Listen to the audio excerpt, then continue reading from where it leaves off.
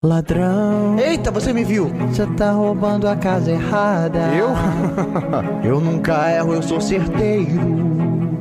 O vizinho aqui tem mais dinheiro. Ei! Desculpa aí, eu sou pobre. Então prova. Tem uma sacola pra guardar outra sacola. Ah. Minha sandália tá com prego bem aqui na sola. Quando a gente sai, acende a luz pra avisar bandido. Ah. Que dentro dessa casa todo mundo tá Pai, que ladrão.